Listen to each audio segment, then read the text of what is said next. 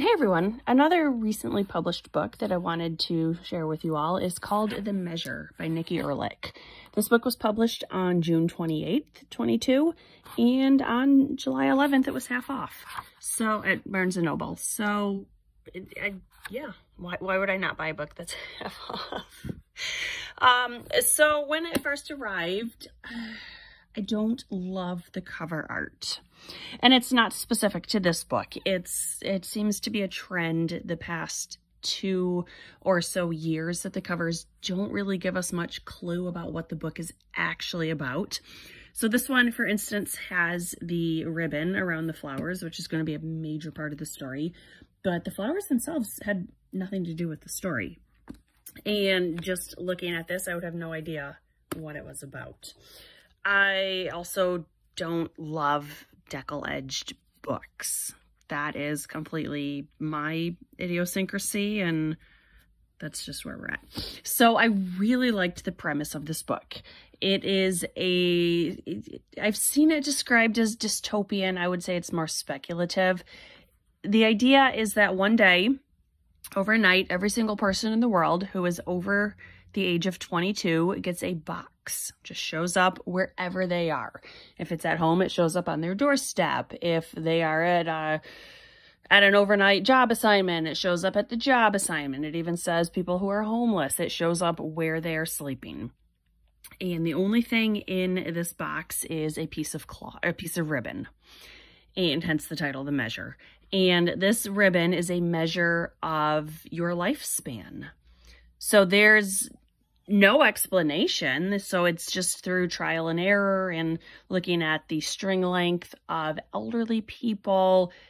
So very quickly websites are going to develop that can estimate, for instance, if your string is 12 inches long, your, your life is going to be 65 years. And I just totally made up those numbers. But very, very quickly, scientists are going to be able to estimate your lifespan based on this string. And it's your total lifespan. It's not your remaining lifespan. So I really liked that premise. It reminded me a lot of an Adam Silvera book called They Both Die at the End, which, spoiler warning, it's right there in the title. I thought that book was amazing so I, I, was really very much looking forward to this one as well. This seems to be the adult fiction version of that one, which is clearly YA. So this story, it centers around eight main characters, and they are all connected in a sense. Some of them are much more clearly connected to each other. For instance, we have Jack and Javier, who are roommates at a military academy.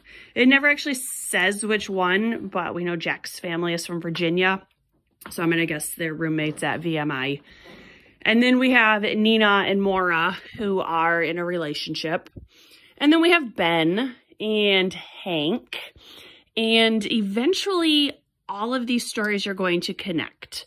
Some of them will form very strong relationships to each other. Some of them are going to have pretty short-term tangential relationships.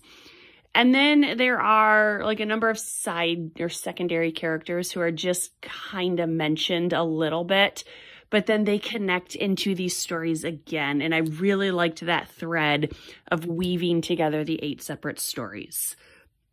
We also get some government involvement because of course we do.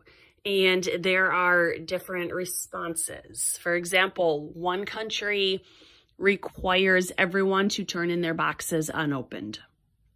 Another country requires everyone to open them and submit to a database the length of their string. Another country begins another kind of series of discrimination. For instance, very high ranking military and government workers have to have a string of a certain length. So they are discriminating against the short stringers. And a number of support groups are formed for the short stringers and also for the very short stringers.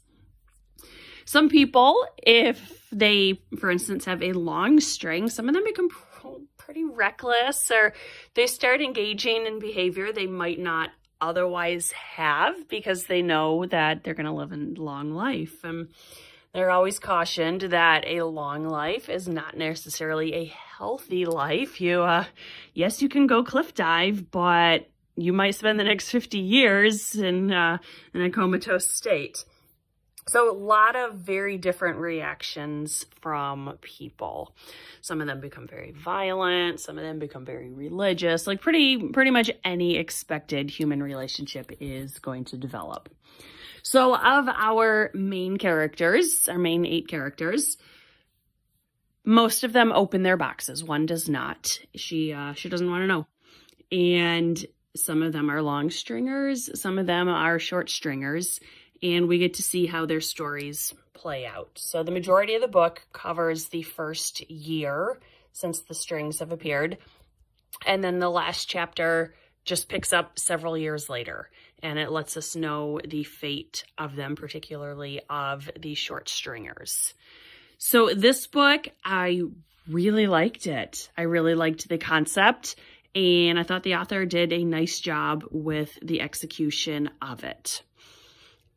Sometimes the reader's voices weren't always obvious. So for instance, if I just randomly picked it up and started reading a page, I wouldn't necessarily know very quickly which which uh, character that chapter was focusing on. But if you take it as an overall narration that different people are bringing different experiences to this big story. And I thought it was a really, really good story. So I do recommend that if this sounds even remotely interesting, I do recommend that you check it out. If you have not read Adam Silvera, They Both Die at the End, check out that one as well. That's the young adult version, and that book was amazing. Um, this one was also really good. So this is The Measure by Nikki Erlick, very recently published. I encourage you all to check it out. Thanks for watching. Bye.